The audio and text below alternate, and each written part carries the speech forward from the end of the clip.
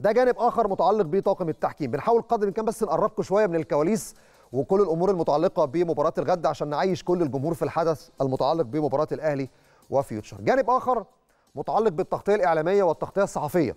وكيف يتابع الزملاء الصحفيين هذا اللقاء والأجواء في الإمارات؟ الحضور الجماهيري جاهزية الأهلي لهذا اللقاء.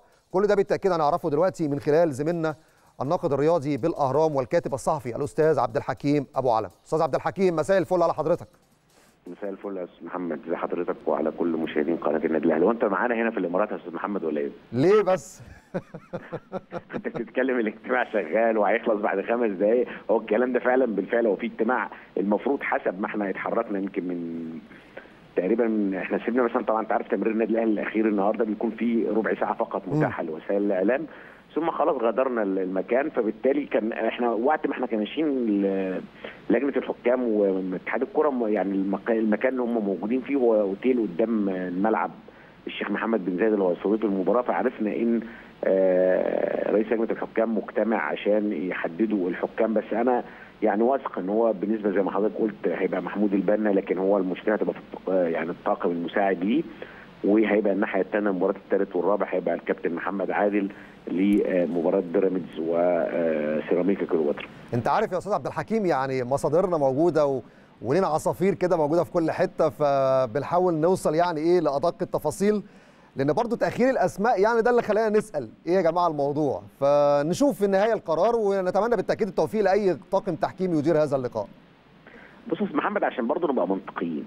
هم الاطقم اللي موجودة هنا في في الإمارات معانا في أبو ظبي هم محددين ومعروفين. مظبوط. هم أربع اطقم تحكيمية. في اثنين حكام رئيسيين أداروا مباراتين نصف النهائي والاثنين الحكم الرابع هم محمود البنا ومحمد عادل هم اللي فاضلين يكونوا. فالوضع يعني ما هوش لوغاريتم إلا في مين هيمسك مين هيمسك مين هيدير ماتش إيه. لكن القصة يعني زي ما بيقولوا كده في مثل عندنا في الصعيد يقول له يعني المثل الموضوع معروف ما, ما هياش مش معضله بس تحديد الأسماء وإعلانها أعتقد إن ممكن وإحنا بنتكلم خلال 10 دقائق خلال ربع ساعة أكيد. سيتم الإعلان عن اطقم التحكيم وفي جميع الأحوال ايا كان ايا كان الحكم إحنا كل ما نتمناه هو عدم النظر للألوان عدم التركيز فقط في إطفاء العدالة إن كل فريق ياخد حقه بغض النظر عن وقبلهم وأولهم النادي الأهلي. اللي هو بيبحث عن العدالة فقط لا غير ولا ينظر إلى لون تيشيرت النادي إحنا عايزين العدالة المطلقة ايا كان على واللي يكسب كورة نقول له مبروك ودي كره القدم اللي إحنا عايزينها بغض النظر عن أي شيء تاني. أكيد. طيب عايز أطمن منك بقى على الفريق. جاهزية اللاعبين. طبعا الحالة المعنوية بعد الفوز على سيراميكا في الوقت القاتل. يعني كل التفاصيل دي نطمن منك على فريق الأهلي قبل مباراة الغد. خليني أقول لحضرتك نفس الكلام اللي أنا كنت بتكلم فيه مع حضرتك كده امبارح النهارده مارسيل كولر اتكلم فيه الاجهاد وده حقيقي فعلا. يعني هو الراجل ما بيسوقش مباراته. وبرغم كده هو بدأ كلامه قبل ما يتكلم عن ضغط المباريات وعن الوضع الحالي بدأ كلامه بإن آه إن إحنا هدفنا الفوز ببطولة السوبر عشان نحطها في دولاب بطولات النادي الأهلي واتكلم بيه آه وإدى درس. يعني أنا أقصد معنى الكلمة إدى درس ليه كيف يتحدث مدرب في مؤتمر صحفي. مارسيل كولر من الممكن إن يتعرض لأشياء برضه مثيلة بما تعرض له جيما باتشيكو المدير الفني البرتغالي لبيراميدز اللي حتى في اعتذاره النهارده لم يكن اعتذارا واضحا وصريحا. كان كلام اللي هو يعني أنا بحترم الصحافة المصرية أنا بقدر الإعلام المصري أنا طوال تاريخي أنا مش عارف تاريخه فين لأن تاريخه ينحصر في ماتش القاضيه بتاع النادي الأهلي والزمالك وتاريخه في سنة لم يحقق فيها أي شيء مع بيراميدز. هناك مدربين عظام أنا آسف إن طلعت حضرتك والمشاهدين قناة النادي الاهلي عن هذا الأمر لكن هناك مدربين عظام جم الكرة المصرية في الأهلي وفي الزمالك وفي أندية ثانية لم يتخطوا أو يتجاوزوا بحق نادي أو بحق جماهير أو بحق إعلام أو حق صحافة. كنت انتظر منه اعتذار واضح ولا يقبل الشك.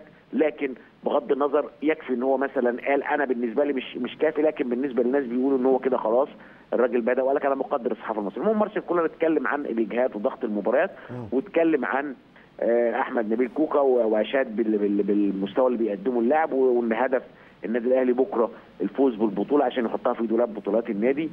ما علمته من يعني من خلال كواليس الفريق إن مارسيل كولر التمرين بتاع امبارح اللي كان مغلق وتمرين النهارده ما كانش فيه أي نوع من أنواع اللي هو مثلا التقسيمه بطول الملعب إلا حاجات صغيرة جدا مثلا مده صغيره عشان الإجهاد والإرهاق لكن اعتمد اعتمد بشكل رئيسي على المحاضرات النظرية والإعداد النفسي للفريق عشان يكون جاهز للمباراة لأن الفاصل الزمني 48 ساعة فبالتالي من الصعب إن أنت تشتغل على جمل تكتيكية وجمل فنية في هذا الظروف الصعبة.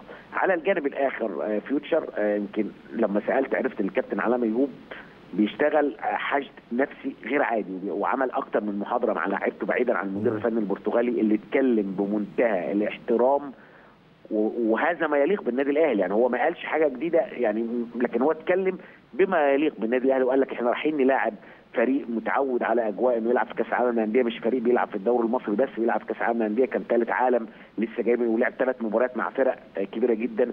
فريق يضم أفضل لاعبين الكرة المصرية المدير الفني البرتغالي لفريق مودرن فيوتشر لكن كمان كابتن علام ايوب بما له من خبرات وبما له من تاريخ في النادي الأهلي عارف النادي الأهلي لما بيروح في في مباراه ال final بيبقى عنده وحتى قال جملة كده اتقالت من أحد اللاعبين إنه قال النادي الأهلي لما بيوصل ال final بيبقى عنده نهم وشراهة أكتر من أي وقت مضى يعني ممكن في الأدوار التمهيدية أو في الأدوار الإقصائية تلاقيه آه ممكن يعني الأمور ممكن تلاقي شوية النتائج لكن لما ألو؟ طيب يب يبدو ان إحنا فقدنا الاتصال بالاستاذ عبد الحكيم ابو علم بس من الجانب اللي قاله في كلامه عن المباراة وفي متابعته لتدريبات الأهلي وتحضير كولر والحديث عن اللاعبين لا الحمد لله الأمور كلها مبشرة الأمور كلها جيدة إن شاء الله بإذن الله مباراة بكرة تكلل بالنجاح وبالتوفيق بعد